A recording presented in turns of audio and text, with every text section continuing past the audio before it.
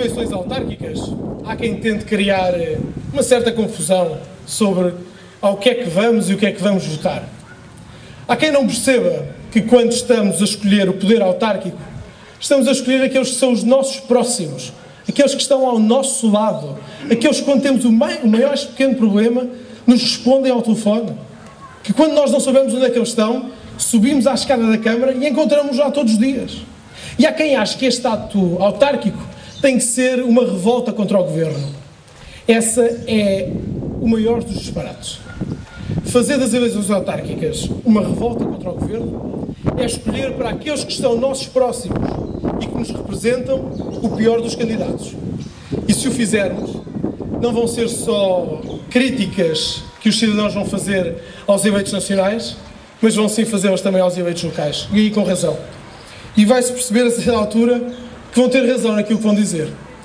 Eu sei que cá no entroncamento hum, já, se, já, se, já se propõem coisas uh, nesta altura do campeonato que são, uh, não é de verdade aos céus, mas é quase inexecuíveis. Há um candidato que propõe que o IMI baixe para 12,5%. Um, ele não disse foi às pessoas que essa baixa de IMI de 12,5% corresponde a 0,5% da fatura que cada um paga. São 320 mil euros por ano que são necessários vá, para pagar um mês de ordenados na Câmara Municipal. Porque, para quem não sabe, hoje em dia a autarquia recebe o suficiente de transferência local para pagar nove meses de ordenado. Há um mês que ia desaparecer, não sabemos para onde é que ele ia, mas de certeza que o candidato ia saber o que é que ia fazer. Também há outro candidato que propõe, um, propôs agora há pouco tempo, um, criar uma bomba de gasolina na Zona Sul. O poder local é uma coisa muito diferente daquilo que nós estamos habituados no entroncamento, ou eu não tenho bem noção do que é que se está a propor nestas eleições. A Câmara Municipal, primeiro, administra o património que é da autarquia e tem a seu cargo mais de três centenas de funcionários.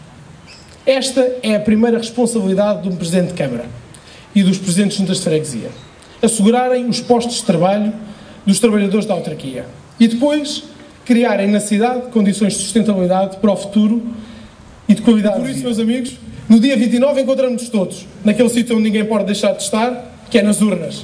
Porque no dia 29 é que vamos decidir continuar a melhorar a nossa cidade. Muito obrigado a todos. Doze anos depois, como o José Miguel disse, penso que o balanço é abissal relativamente à qualidade de vida que aqui se pode ter. E penso que é isso que está fundamentalmente em causa nestas eleições. É, é continuar a melhorar, é exatamente não deixar que possa haver aqui algo que perturbe esta caminhada, que é uma caminhada de 12 anos com o Presidente Jaime Ramos, de concretização de vários investimentos públicos, de ordenamento da cidade, de qualidade de vida e, portanto, eu considero que a Maria Isilda, pelo aquilo que conheço dela ao longo dos tais 25 barra 35 anos em diversas funções, é de facto a pessoa indicada para prosseguir esse trabalho. É, é importante que um território, um município, tenha naturalmente uma continuidade. Haja, digamos, alguém que tenha naturalmente apanhado muitas das coisas para que elas possam ser prosseguidas. A Maria Isilda é hoje Presidente da Assembleia Municipal, ao longo destes 12 anos acompanhou de perto o trabalho que o Presidente Jaime Ramos desenvolveu e, portanto, tem um conjunto de conhecimentos que hoje também as funções que exerce no Parlamento, enquanto deputada, lhe permitem ter uma noção eh, da organização do Estado, dos corredores, da forma como deve promover o entroncamento e permitam-me que diga, isso é um grande capital que o entroncamento não pode perder. E, portanto, no dia 29 de setembro, penso que, fundamentalmente, o que está em causa é, de facto, que os habitantes do entroncamento não permitam que haja um hiato nesta caminhada e que, portanto, seja possível continuar a melhorar a cidade. Eu vou-me recandidatar pela terceira vez, conforme sabem, hum, porque hum, eu gosto da minha terra. Eu gosto do entroncamento. Eu gosto do trabalho que tem sido desenvolvido nestes últimos 12 anos. Ninguém é perfeito. Também haverá erros, com toda a certeza. Não podemos agradar a gregos e a troianos. Mas, na verdade, eh, eu tenho trabalhado fora do entroncamento, tenho muitas pessoas que me têm dito: Ó oh, Teresa, nós chegamos ao entroncamento e vê-se que há coisas diferentes, vê-se que há por onde andar, vê-se que as pessoas estão felizes. Noutras terras aqui vizinhas, que eu não vou nomear, estamos parados, não há obras, não há nada. E há três vetores que já foram aqui ditos e que vão continuar no meu coração, sem dúvida nenhuma. Os outros não são descurados, mas estes, sem dúvida alguma, que são sempre os três primeiros: a ação social, a educação e o associativismo. Até hoje, prezo-me, enquanto estive nos destinos da freguesia de São João Batista, não houve ninguém em nenhuma das áreas que tivesse saído da porta da freguesia de São João Batista sem uma Chegou resposta. o momento de fazer uma retrospectiva sobre os trabalhos realizados e com alguma humildade reconheço que os compromissos assumidos foram realizados com sucesso. Se tal aconteceu, foi graças à garra e determinação da equipa que comigo trabalhou. Tivemos como objetivo fazer obra servindo, procurando sempre estar atentos a fim de dar resposta aos problemas que em cada dia se nos apresentaram. Quanto aos trabalhos realizados nos últimos quatro anos, tudo está mencionado no programa de candidatura. Em relação ao futuro, penso que ninguém tem dúvidas do importante momento que se aproxima relativamente à nossa cidade. Tal facto reúne-nos hoje aqui a fim de apresentarmos a equipa que cada um encabeça assim como o programa para os próximos quatro anos. Ninguém tem dúvida de que no decorrer dos últimos anos a nossa cidade sofreu uma transformação radical que a todos orgulha. Os compromissos para a nossa cidade, razão de ser da nossa presença aqui, são, de facto, aquilo que nos traz cá hoje. São compromissos que dividimos num conjunto de 13 áreas, mas que têm quatro compromissos especiais e transversais que queremos afirmar muito fortemente. Estamos a falar, em primeiro lugar, de um orçamento participativo. Daremos aos cidadãos o poder de participarem nas decisões, afetando uma componente do orçamento à decisão dos nossos municípios. Depois, dizemos não, dizemos não à criação de empresas municipais exigimos e queremos garantir a estabilidade para os trabalhadores do município, exigimos e queremos continuar a ter qualidade de serviço e, acima de tudo, não queremos criar dificuldades para o futuro de todos nós, para o futuro das crianças e jovens do nosso Conselho.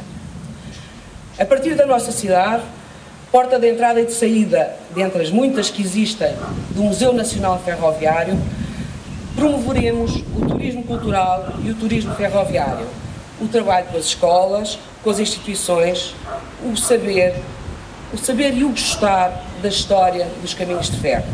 É o terceiro item. Em quarto lugar, continuaremos a evitar todos os esforços e mesmo todos os esforços para que a nossa estação seja segura e à altura da sua importância. A estação ferroviária do entroncamento tem de ser à altura da nossa população e daqueles que, os, que nos visitam, sendo, sendo,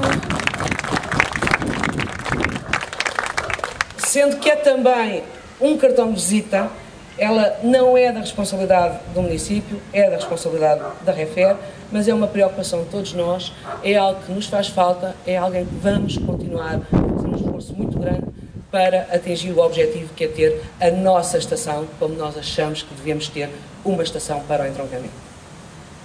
Estas são ideias, são compromissos que sabemos que são essenciais para o futuro da nossa cidade.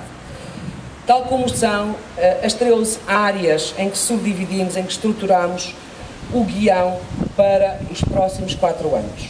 E são elas ambiente e espaços verdes, queremos valorizar a cidade, a educação, que é de facto uma prioridade e vai continuar a ser no entroncamento, saúde, um direito para todos, política social e terceira idade, respeito e solidariedade, administração e serviços públicos ao serviço da comunidade, cultura, turismo e património, o entroncamento cidade ferroviária, desporto, manutenção da gestão do equipamento, dos equipamentos desportivos pelos serviços do município, é qualquer coisa que assumimos muito claramente, não só pela área, mas acima de tudo pela população do entroncamento. Queremos continuar a ter os espaços do nosso município ao serviço da população, ao serviço de todos, das coletividades, dos cidadãos, de todos aqueles que os querem utilizar.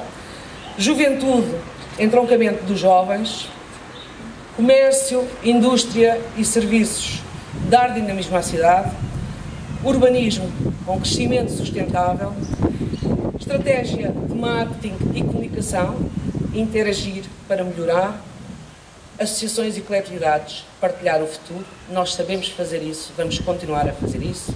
E segurança. Segurança que exige responsabilização e integração. Não são promessas, são compromissos. São compromissos de quem conhece o Conselho do Entroncamento, são compromissos de quem conhece a nossa realidade. São compromissos para o município do Entroncamento são compromissos de gente que respeita a todos e que quer honrar os compromissos que assume. São compromissos para um conselho de gente jovem que cuida dos seus mais velhos e dos mais desprotegidos. São compromissos desta equipa para cada um de vós. São compromissos com o coração e dedicação, juntos pela nossa cidade, assumimos e vamos cumprir. O futuro depende de todos. A equipa que lidero está unida e solidária com estes compromissos. Vamos continuar a melhorar a nossa cidade. Venham connosco nesta obrigada.